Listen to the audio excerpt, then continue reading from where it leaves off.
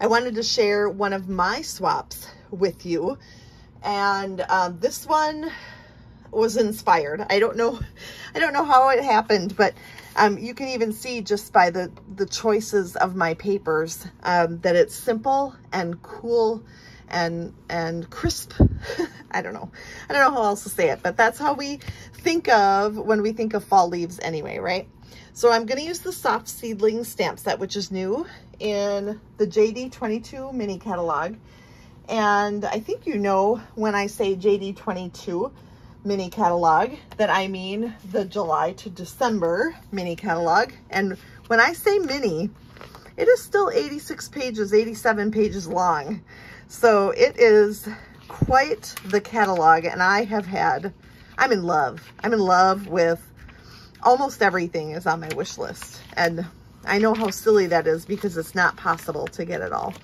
But I'm going to bring, um, here, this is, this is the page. I love these both. My husband is a pheasant hunter, so that one is still on my wish list, but I did go ahead and get the soft seedlings right away. And notice it's a Distinktive stamp set, and that means it's got some shading built in right on the stamp. And so we're gonna create a beautiful card with that.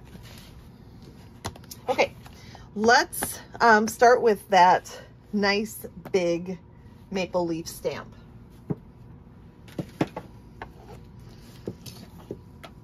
We're going to ink that up in crumb cake ink, just real lightly. And I'm not even worried about getting everything. Then we're going to do some shading with uh, Merry Merlot, Cajun Craze, and Crushed Curry. I'm to start with Merry Merlot, and I'm going to get my sponge dauber, and I'm going to add color to the bottom part of the leaf. So I've already put a little bit of crumb cake on there and now I'm kind of covering it up because I wanted the rest of that to be crumb cake and because it's a light color, I knew we would be able to use these other dark colors to get them all um, covered up. So let's now go to, that was Cajun Craze, and now we'll add a little bit of crushed curry to the tips here. So then when all is said and done, we are gonna stamp that on a piece of vanilla cardstock. And I can measure that for you. Um, oh, look at that. It's so pretty. Oh my good gracious. no wonder I love this stamp set so much. Um, remember that these um, measurements will be on my blog on Friday, so you'll be able to look there. Those of you watching on YouTube later, um, you can go to my blog. It is on, um, that link is in the comments, or not the comments, in the description of the video. So this is two and seven eighths by three and five eighths. And then I've cut, and let me get rid of these ink pads so I'm not like totally ruining my project by putting something in there. And then we're going to add that to a piece of gold foil that is cut three by three and three quarters. So it's just gonna layer on there with a little bit of gold peeking out. Now, if you had something that you needed cut out of the gold, you could certainly cut it out of the center because you're gonna cover that up anyway. But this is, this is how I'm going with it.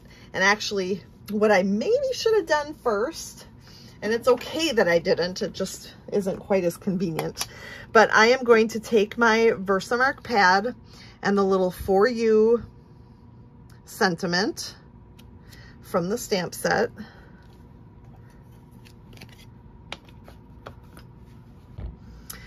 And then I've got my new embossing powder tray from the mini catalog, and I will point that out in just a second. I'm going to first Cover my For You with gold embossing powder and it is ready to roll. So now I'm gonna bring in my heat tool and get that turned on. In my studio here where it's a little bit more chilly, it takes a little longer for it to warm up. And then I'm just going to heat it If I had my tweezers right next to me here, I could be using my tweezers, but it's not too close quarters here.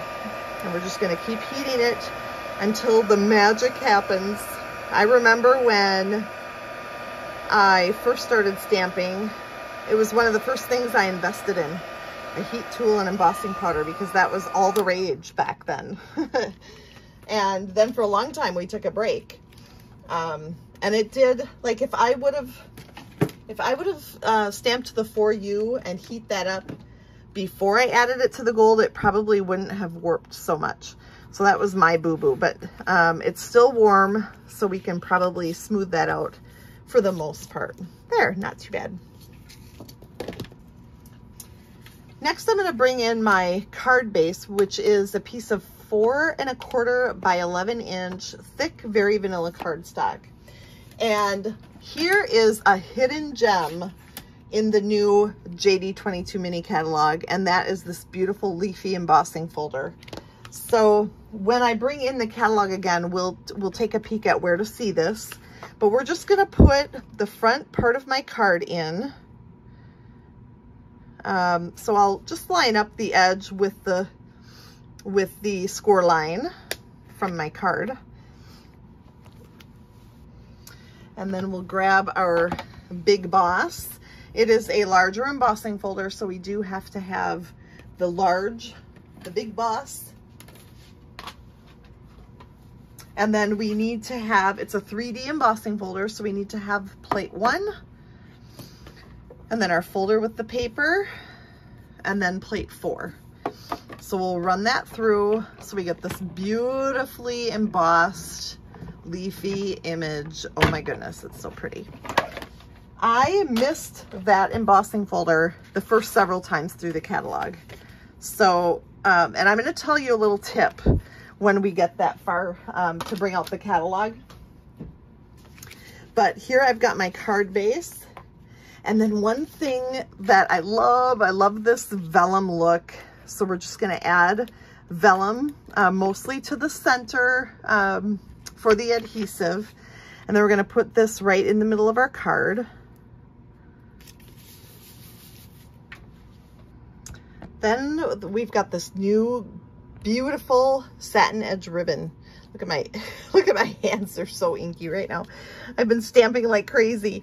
Um, so this is a vanilla ribbon, satin edged with a gold um, thread through there and it is so pretty. So we're going to wrap that around the front of the card and just tie it in a knot. And we're gonna move that over, over to that right side. And then we're gonna trim these down pretty far, get our ends nice and short. And then the last thing is just to put this on. So we've got Stampin' Dimensionals that we're gonna put on the back. And I like to be generous with my dimensionals. So I'm gonna do six. I'm gonna put one in each corner and two kind of across the middle there.